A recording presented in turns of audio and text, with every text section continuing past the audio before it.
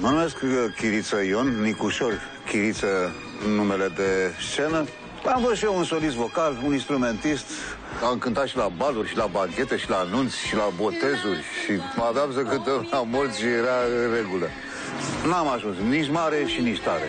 M-am lăsat de muzică imediat după evenimentele din 89, dar n-am scăpat de microbul muzical. Am fost impresar, am făcut cele mai mari spectacole în Craiova. Ștefan Bănic a fost invitatul meu în spectacole. Deci vă știți, oarecum. N-aveți emoții. Păi, noi știm mai de mult.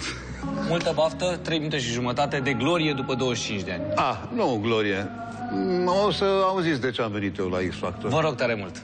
Niciodată să nu țineți microfonul de capsulă, da? M-a învățat pe mine, vă învăț eu cum să ține microfonul.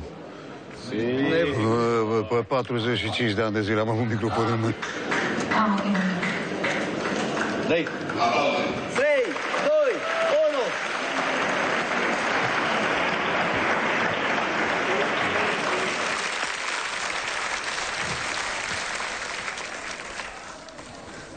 Bună seara! Bună seara! De ce X Factor?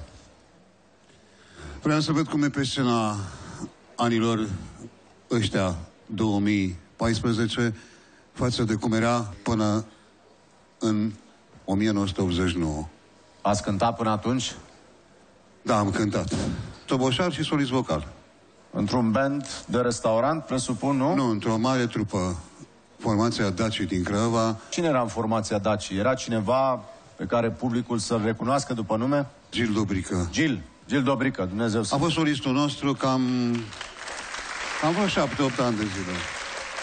Credeți că aveți o, vreo șansă la X Factor? Nu, n-am nicio șansă. Păi de ce nu? De ce Păi, ați da, venit deci, atunci? da. Cine ne mai bagă pe noi în seamă ăștia care am cântat vreo 45 de ani de zile? Păi eu v-aș băga în seamă. Și acum să-i aduc aminte lui Ștefan Bănică Junior, când veneam pe la Brașov și cânta Nicușor Chiriță la Ciuca și la Favorit, venea și l asculta și îl vedea acolo. Dar acum nu mă mai cunoaște că au trecut o grămadă de ani de atunci. Dacă ne-am cunoscut atunci cu, nu știu, nu mai mi-aduc aminte, dar într-adevăr veneam acolo. Dar, Dar, dar mă rog, trec din- și oamenii se uită unii pe alții. Nu, eu nu uit în general. Dacă vă cunoșteam, credeți-mă că n-aveam nicio problemă să-mi reamintesc. Haideți să cântăm